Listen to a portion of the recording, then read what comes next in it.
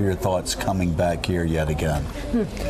Well, this is the most sacred uh, land that there is, I think, and uh, I think people feel it. Uh, taps is always the hardest thing Yeah. to listen to. I think the the the overpowering sense that you get from this entire ceremony is was captured to a degree by the by the president and the stories of each person. I mean, remarkable courage. Uh, I know the saying is that only the heroes are, are buried here, but those guys were heroes, and and there were remarkable. Uh, the whole generation. I mean, Tom Brokaw appropriately labeled it the greatest generation because these citizen soldiers started the war in 1941 and they went all the way through. There was no one year tour, no flying over, flying out. You went and you didn't come back till you got the job done. And I think uh, the I think anybody watching this today has to be just overwhelmed by the by the mission, by the size of it, the scope of what they did, and the imminency of your own death, knowing that the moment that door dropped, the moment you approached that beach, the chances were really high that your life was going to end. That's sacrifice. And uh, the president's speech, uh, also President Macron's speech, both very unifying, so moving uh, to hear the president of France saying, France will never forget. And of course, they do not. And if you come to Normandy, you know they they are forever grateful for what we have done. And President Trump, I think for the first time in his presidency, uh, resoundingly speaking of this North Atlantic alliance that defeated Hitler, freed the world, um, and uh, and can protect this country uh, from from future harm. Well, I think, Joe, the key question will be um, what is the policy that is instituted over the course of the next months and years? Uh, what is said here today has been very different from what has been enacted and played out. I think we should, this is obviously a dramatic and right extraordinary moment in the flyover.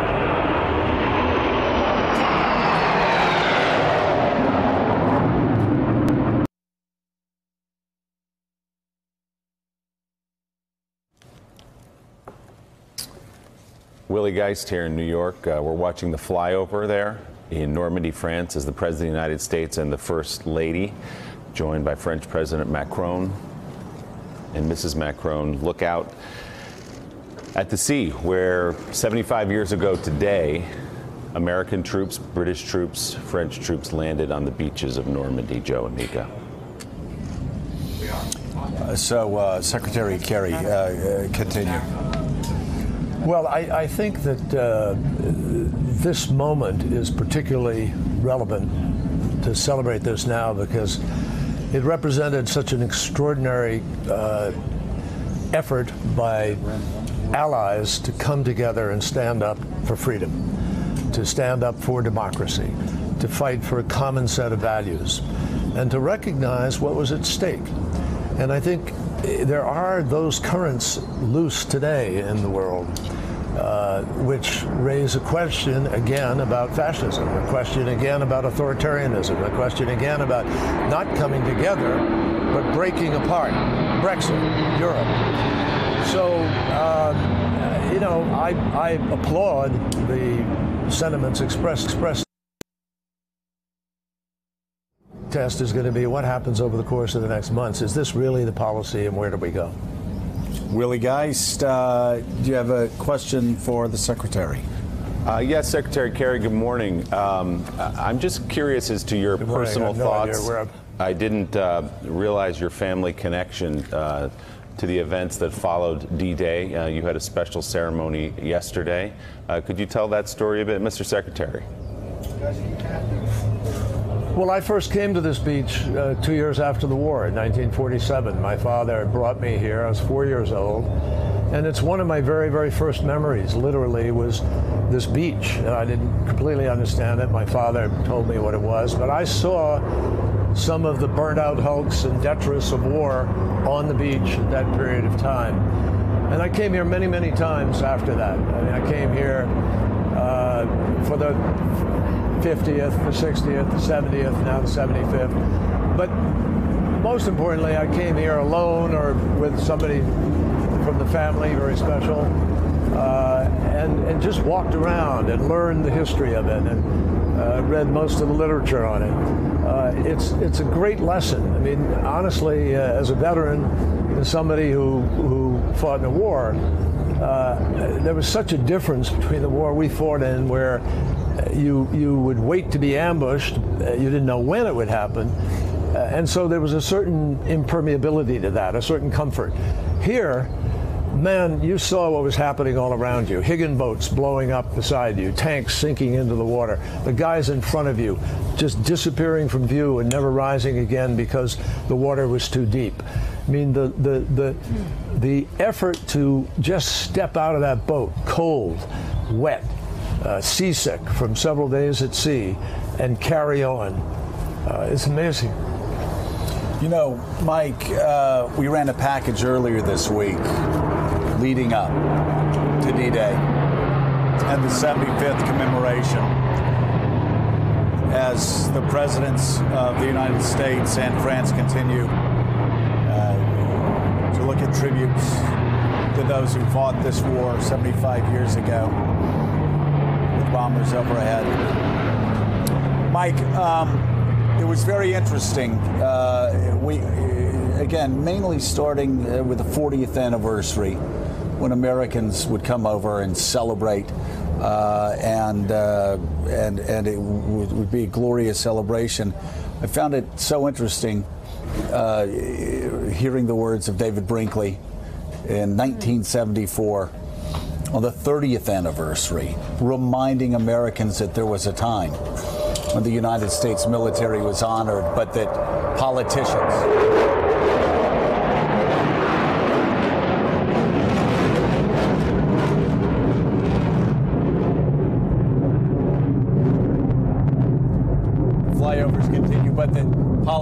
politicians had made such a mess of Vietnam that that was not possible. And the veterans that would come over and actually speak to the cameras saying they couldn't believe that people actually appreciated what they had done here 30 years ago. So much has changed now where now it is a military that is the one institution revered by the American people.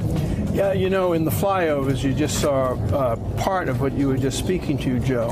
Uh, the World War II uh, uh, era planes that flew over, slow, lumbering, easy targets. And we have the 21st century version of military weaponry just flying over us at less than supersonic speed, but filled with more power in one plane than they probably had in the entire fleet that was out here uh, 75 years ago this morning. But I would have to tell you, listening to Secretary Kerry, who I know, who has been here since he was a child, uh, would that it were possible for every American to walk this hallowed ground. I deeply believe we would be living in a different country today. Because if you walk this ground, and if you look at the look at the tablets, the stone tablets, the stars of David, the names carved out in there, the states represented, you see who we are. This is who we are. This is the United States of America behind us. People of all men of all faiths from every state, every region of the country came together here the dead are here. The living, the elderly living, were represented here today. This is who we are. We have lost our memory. We have lost our memory to Google and Snapchat and Twitter and this instant gratification age that we live in. This is who we are, not Twitter. This is who we are. It is hard to walk uh, here and not feel a moved. sense of unity. Completely. Uh, an extraordinary, of course, being moved, but also an extraordinary uh, sense of unity as, as a people and also as a member of this alliance. Alliance, absolutely. Um, the pictures try to do it justice, but being here is different. It is an unbelievable experience. Um, And as we look at the sacrifice and the bravery and the commitment and the unity that was shown by the young men um, pouring out of those boats.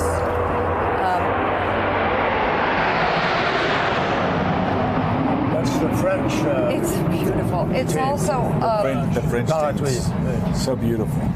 hard not to keep in mind the elements of that day and how much um, coincidence was on the side of the Allied forces, from the weather to l- luck in, you know, in many a- ways. there was an enormous amount of. I mean, I, obviously, Right. Nothing diminishes the, No, no. the courage, and and the thinking and the planning and the preparation, which is astonishing that they were able to leave port, go back to port, and come back.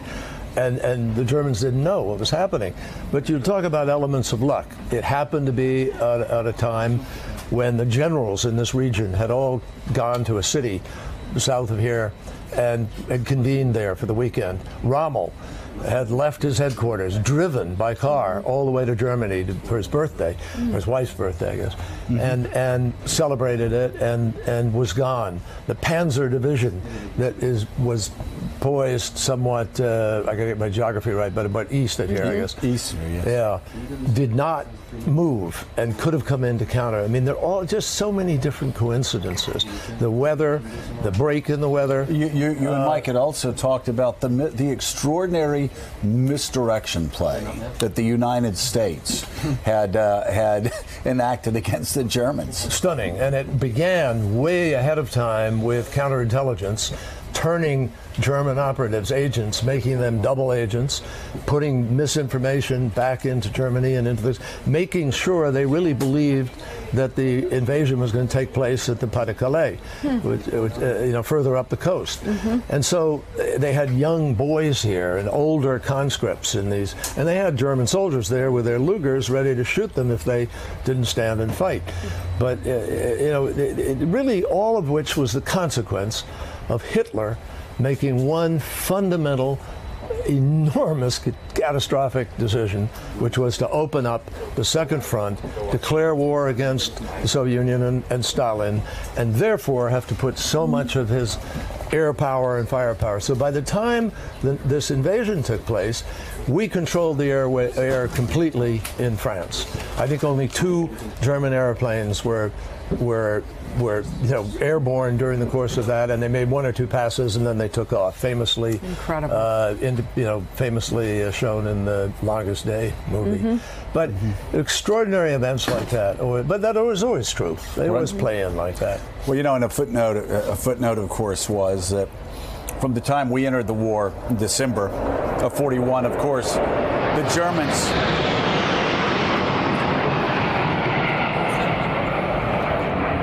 You notice there's the Beautiful. Go ahead, Mr. Secretary. well the missing man Yeah. formation where the one plane takes off and goes off. So we had, uh, of course, we came into December of 41. I believe uh, the Germans went into Russia in, in June of 41. And so from the moment we got into war, of course, Stalin was pressuring Churchill and FDR to open up that second front. Correct. And always felt that we waited a little too long. Right. Uh, b- Because, again, this is one thing that we should mention today as we're talking about the defeat Well, the- of, the- of Hitler. the Union- sacrifices Union. made Yeah. by the Russian people throughout World War II. You hear a base figure of 20 so million horrific. to 30 million people. Russia alone died, and and uh, and Russians are sensitive to that, and they should be sensitive should to be. it. They they always uh, feel that they never get the credit for their role in winning World War II. Well, uh, uh, it could not have been won the way it was without them, and there is no doubt as we sit here and remember the heroes and the sacrifices uh, But- fro- but again, from our, I our allies. what I think is uh, important- what, what, what they sacrificed on the Eastern Front. Absolutely. But uh, what I think in, in big terms, what is key to take away from today, and it's relevant to today, as we see facts being erased from the public dialogue, as we see uh, extremism being embraced in certain places, as we see uh, really elements of fascism reappearing, uh, by virtue of the one ideology, statism, lack of individuality, all these hallmarks of fascism. It is appearing in Europe, and ironically, at the very moment that we're here celebrating this, and the British will be here tonight celebrating at Juno Beach, uh, Brexit is occurring. And for the last two years, NATO has been under attack. The value of the EU has been attacked. Mm-hmm. The EU came together not as an economic program or some fly by night thing, it was the outgrowth of World War II in order to stop Europeans from killing each other. That was the fundamentals of this. Mm-hmm. So we need to remember that and why there, there was such an historic value after centuries of, of millions of people dying. Finally, we created this unified entity, and that mm-hmm. unified entity represents the Western values that these men died for. We have to remember that. Mr. Secretary. Secretary, thank you so John much for Kerry. being with us. Thank you very Thank much. Thank you so much for your service to this Joining country. Thanks for checking out MSNBC on YouTube and make sure you subscribe to stay up to date on the day's biggest stories. And you can click on any of the videos around us to watch more from Morning Joe and MSNBC. Thanks so much for watching.